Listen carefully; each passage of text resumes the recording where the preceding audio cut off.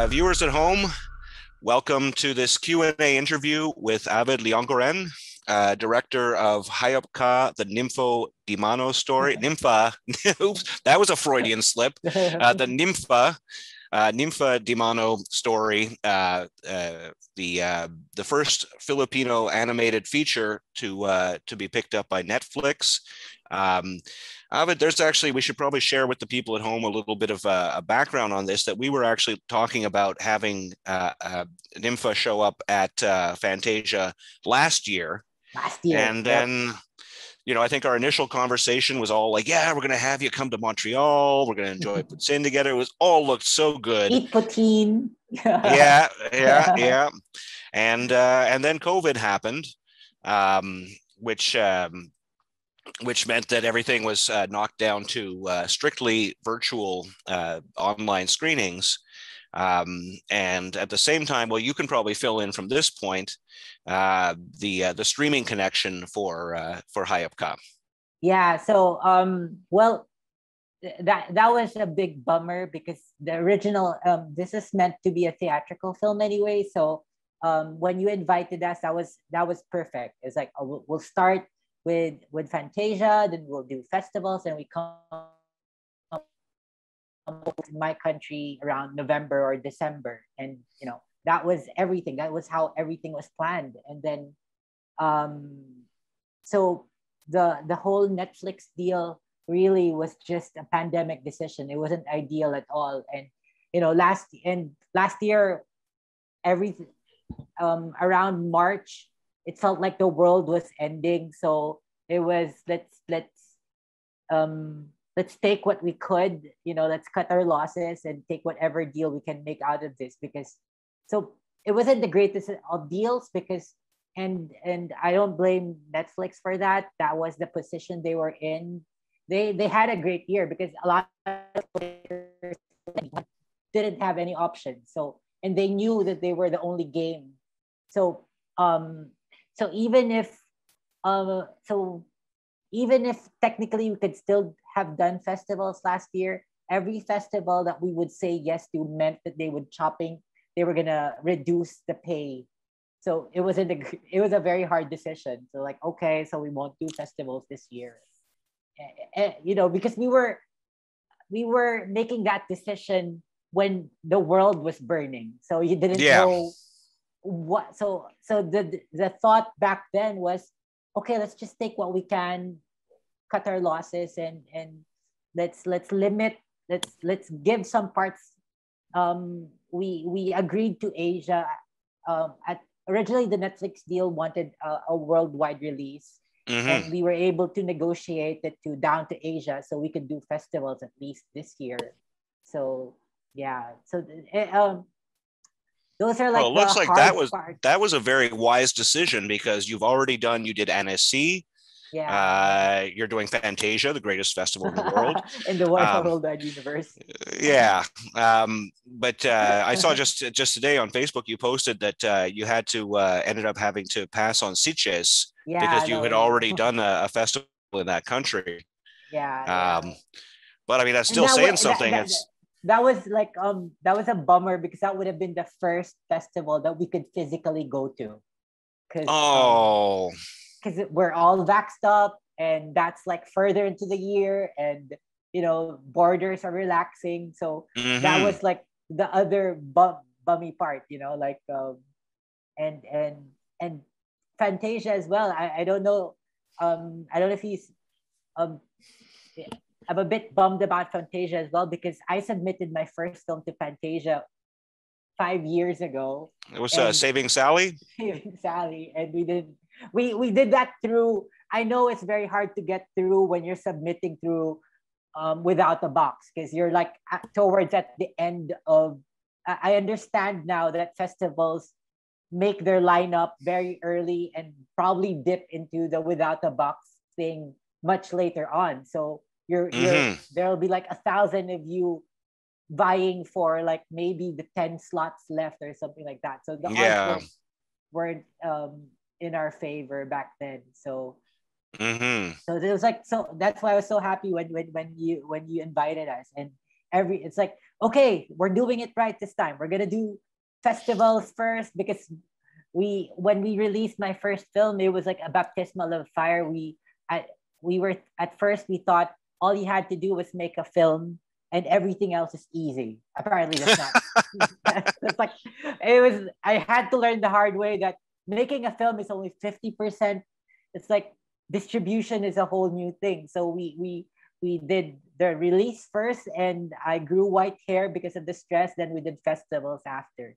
So mm. at, at at so that had its own clusterfuck of problems attached to that. But then i thought we were doing it right this time to do festivals first earn our you know um, gain exposure. Then you do your theatrical back home and we, we'd be in a better position to to negotiate with with the distributors and stuff like that. Mm-hmm. so, but of course everything was you know the fire nation attack and everything was upside down last year. And even the decision to go straight to netflix i will never know if that's a good thing. It seemed like a good thing last year but it's like half and half you know but i'm working on my third film so maybe we'll get it better this time so i guess that's just it you know yeah, yeah that's uh sooner or later. So so there has been no uh, theatrical for uh, for Hayop Ka. Yeah, it has. It's like the first time it actually screened in the theater was in Annecy. So that's like, uh, and we're not there. So the first, yeah, yeah. I haven't. I paid. I purchased a DCP. I mean, we have a DCP for it, and I haven't even seen it on a theater. So, yeah, know. yeah. That's really frustrating. It's uh, it's part of my uh, part of my frustration this year. I mean, in many ways, things are going great for the for the festival. Uh, we've got a great lineup, uh, so on and so forth.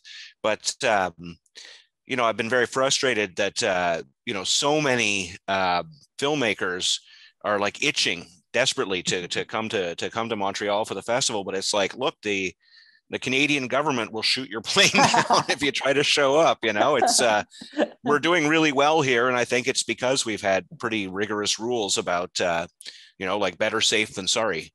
But uh, are, you, are you guys um maskless? Are you a maskless society now? No, we're still doing. Uh, uh, we're uh, all stores. It's uh, indoor mm. places. It's still like you know a mask um, people are uh, you know we're, we're uh, vaccination rates are very very good but you know it's uh, it's a very Canadian like we're right next to the Americans and anything that the Americans do we go like oh well let's not do that they're crazy people you know so um, so I mean the, you know the, the numbers are down and it looks like by um, you know the beginning of September things will uh, loosen up a little bit but we'll see you know it's uh, they uh, you know we've seen both good news and bad news over the process. Even the Fantasia schedule is a bit later now, right? I mean, yeah, I we we deliberately put it back uh, by about a month uh, or three weeks, um, hoping and rightfully hoping that we would be able to there would be a bit of loosening up and we can get some people into theaters. So we have a giant like thousand seat cinema, the most beautiful cinema in Montreal, and we're allowed to put 250 people in there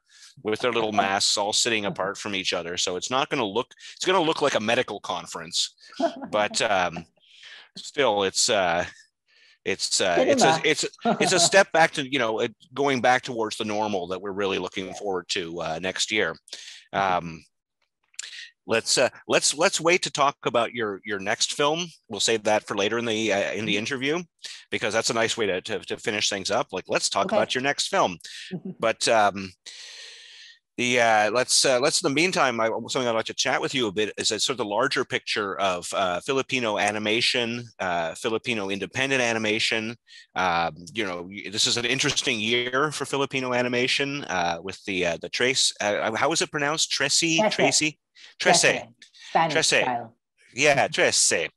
Uh, on uh, on Netflix. Now that's a little bit of a frustration because I was really excited. You know, I'm I've got a real fondness of uh, for Filipino mythology and, and folklore because you have the best monsters. Japan has pretty good monsters.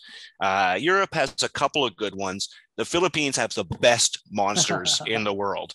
Uh, so I was really excited about that. But you know, you could say yes, the story is adapted from uh, a Philippine comic book. Uh, it's it's a Filipino story, definitely, but the animation wasn't done in the Philippines. Yeah, uh, it's Korean. Like um, but the the heads of the of the departments were Filipino Americans, so that, that mm. there's that.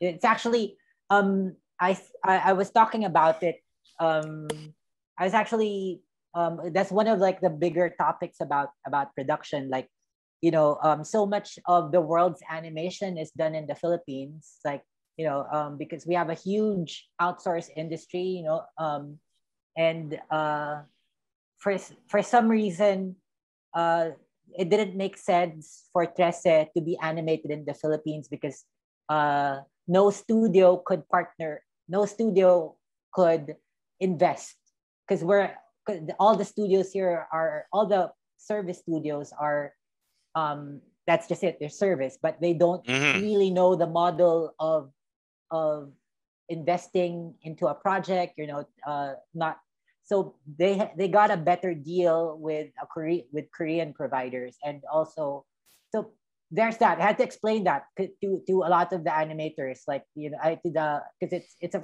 it's a level of frustration from the from the local creators. I had to explain that it's not just it, it's not just because you know it's cheaper to do things here, but that doesn't really attract a producer. A producer needs tax breaks, and and the tax breaks just you know that's why a lot of work is done in in Canada because of the tax breaks, right? Mm-hmm. so we just very recently had these tax breaks to attract more productions here.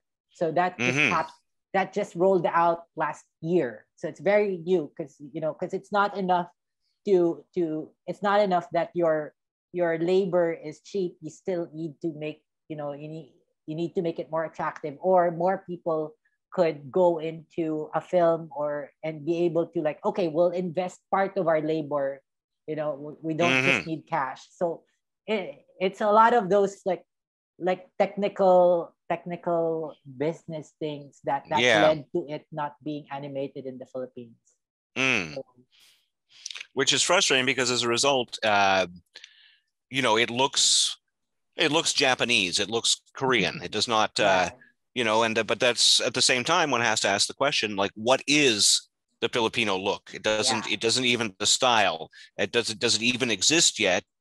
We're, and we're, uh, we're you know, I think you're actually a key player in building that. Yeah. Mm-hmm. It, it's something we're we're trying to figure out as well. But you know, Trece is still a win for us in that it's still based on an IP.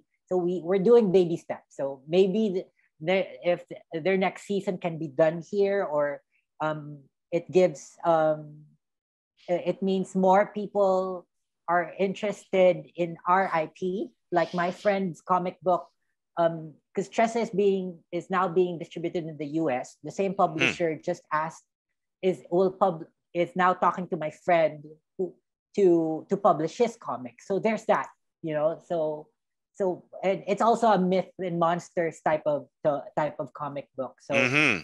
so that's great. So that's that's you know, all all uh, the rising tide raises all ships. So it, it, brought more eyes to hey, there's stuff in the Philippines.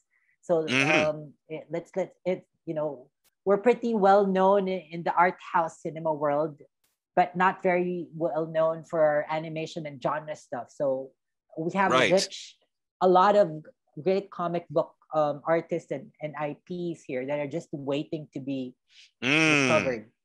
So that's that, that's a cool thing about about Trece.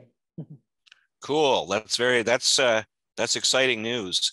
Um, you know, so the sort of the reverse of that is how uh, how has Hayop Ka been received by the Filipino audience? Are you uh, how conscious are you of that? Uh, it's it's a it's a mix.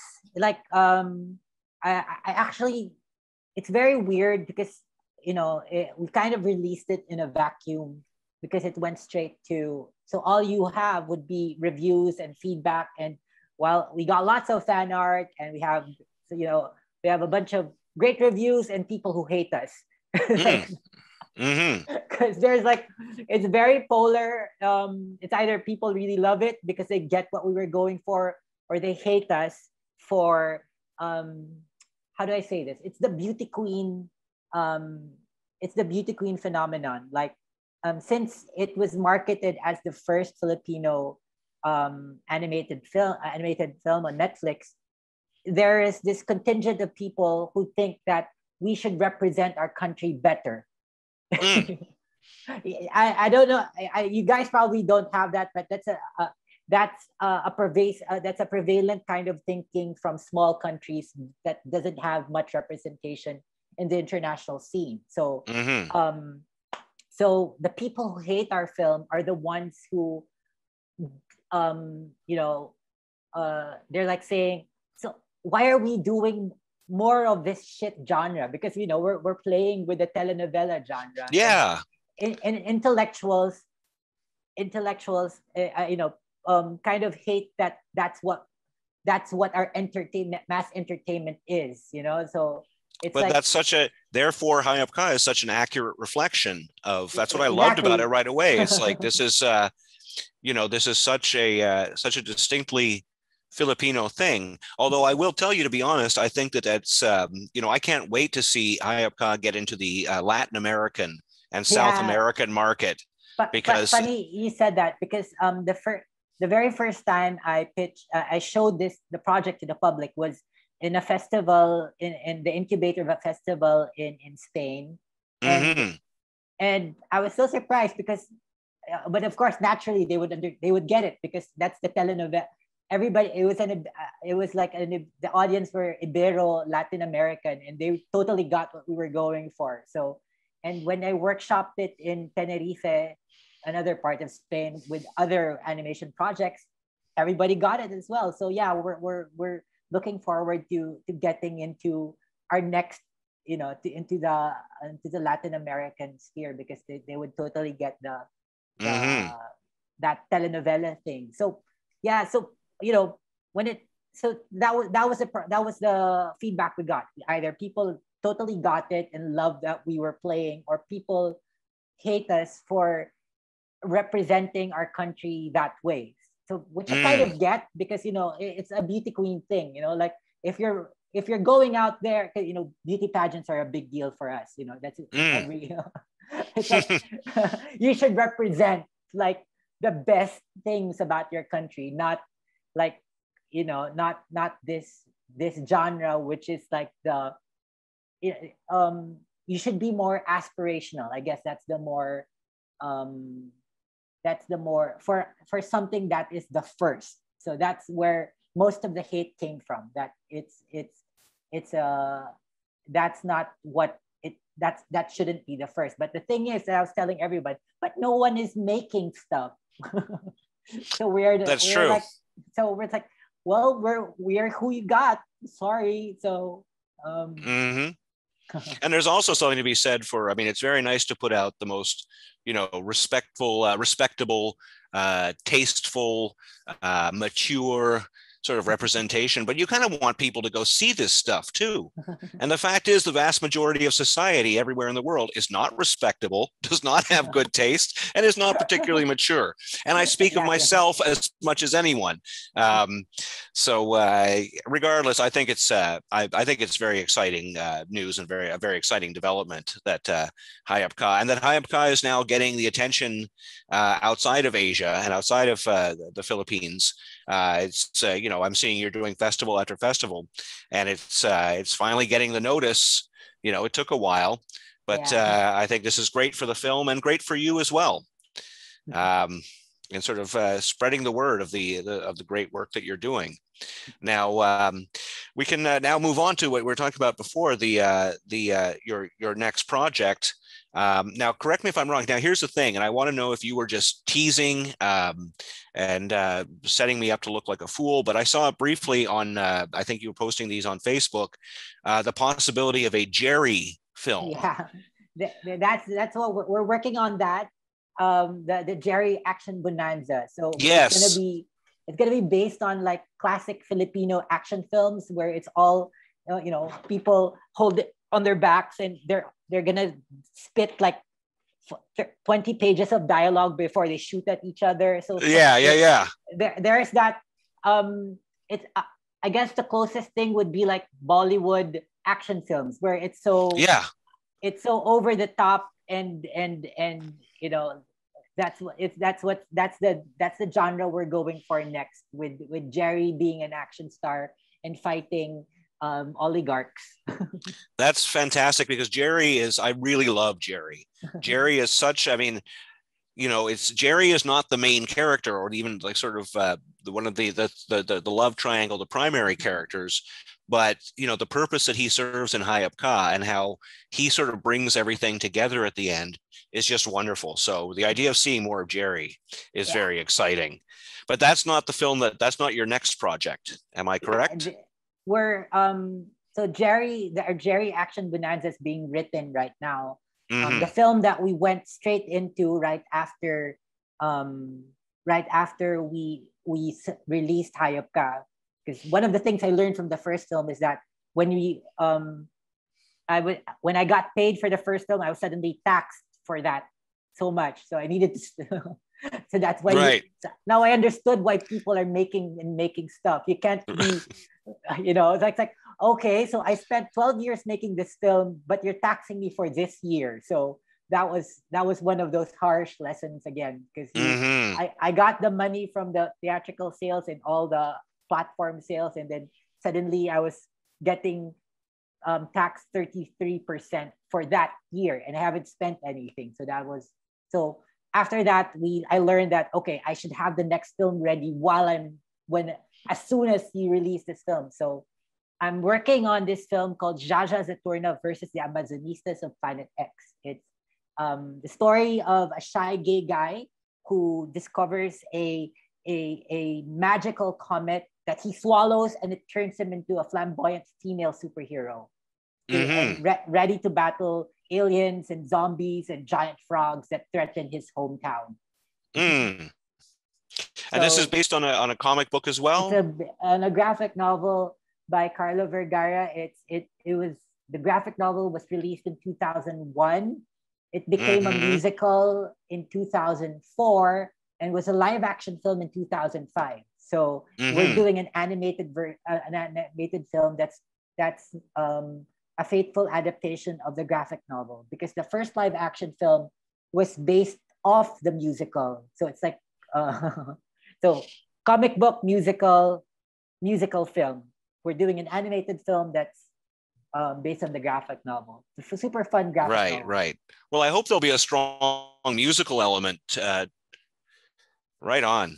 I hope there'll be a strong musical element to it um, because uh, this is something. Uh, this is just a personal sort of pet peeve. You know, I watch I don't know how many animated films every year, to uh, to make my uh, to make my choices uh, for Fantasia, and I'm always so excited and so rewarded um, to use. And I've been thinking about this. Why does um, music? Uh, why does it work so so well with animation? It's because with animation you can control movement in a way that you can't with live action, and uh, so, I mean, I, am not saying make a musical where all the, the dialogue is delivered in song like that. Uh, yeah, but you know to have a strong musical dimension to it like really well developed music is um, is something i would strongly encourage because that's something i think is kind of missing a little bit from uh, from animation worldwide. So that's my little piece of advice for your for your, for your next project. What's the what's the time frame for uh, Zsazsa well oh, we're we just finished the first watchable animatic so we're still on track to deliver it by 2023 so maybe by then the world is still will be better and maybe mm-hmm. we could have our pizza and, and, and, I could come over and, and claim my pizza in, in That's right. Montreal. you got it. You got it. Well, I'm sincerely looking forward to that. Um, and uh, you know anything that you uh, you and your your team develop uh, has a home here. We're uh, very very excited, very excited to include Hayop Ka in uh, in our, uh, which is, by the way, the only feature that's not from France, Japan, or uh, the US this year. Those are the big three. And so I'm really glad to be able to get, uh, get represent the Philippines in there too. Yeah, when, when we when we were screened in Annecy, people were surprised. There, there's a there's a Philippines like yeah. Because it's like it's like okay, yeah, yeah, we're we're we have animation too yeah, and it's really good quality and it's really well done. And I'm very, very proud to share it with my audience. Cool, thank you so much for taking the time to talk with me today or this evening. and uh, hopefully uh, we'll be in touch and sooner or later we'll be able to talk face to face. Cool. All right, man. Bye bye. Thank you so Bye-bye. much. Bye bye. Ciao.